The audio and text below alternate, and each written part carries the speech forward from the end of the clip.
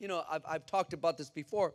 You know, there's different, it was a leadership lesson that I used to do that was called the leadership pictures. And I would take pictures to identify a, a, a leader in a certain season of their life.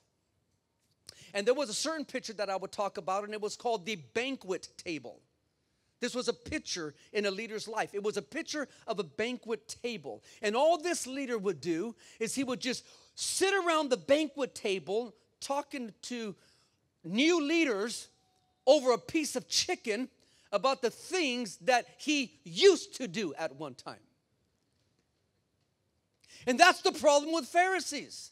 Jesus says, hey, don't, he says, listen to what they tell you, but don't do what they do.